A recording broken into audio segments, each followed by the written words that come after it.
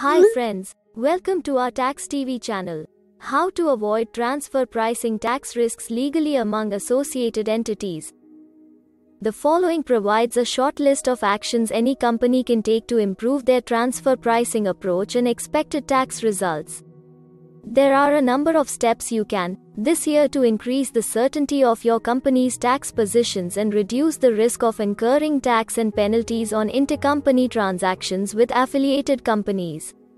1. Adopt an appropriate transfer pricing strategy which takes into account the functions, assets, and risks undertaken by each of your company's affiliates.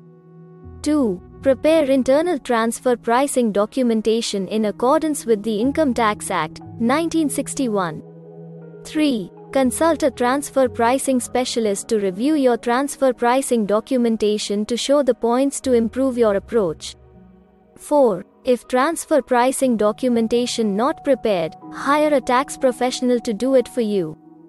5. Ensure your intercompany agreements actually comply with your transfer pricing policies and strategies.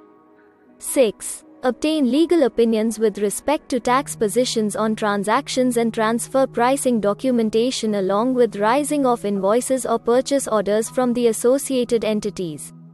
7. Seek an advance pricing agreement with the IRS, essentially blessing your company's approach to its intercompany transactions for a relatively long time period, often 5 to 10 years, and 8.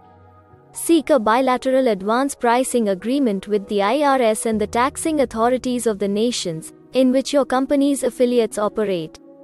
So, always predict the unpredictable transfer pricing tax risks and avoid legally by utilizing our quality services of www.onlinetaxspecialist.com. Please hmm? visit our website www.onlinetaxspecialist.com. Please like, subscribe, and share our Tax TV channel and comment.